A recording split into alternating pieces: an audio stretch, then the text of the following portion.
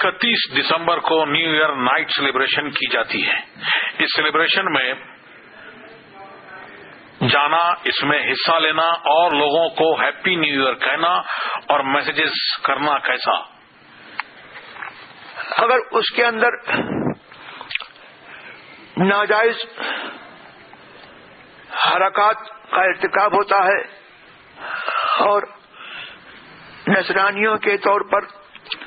ان کے خاص وہ کام جو عیسائیوں کی علامت ہیں وہ انجام پاتے ہیں تو اس سے پرہیز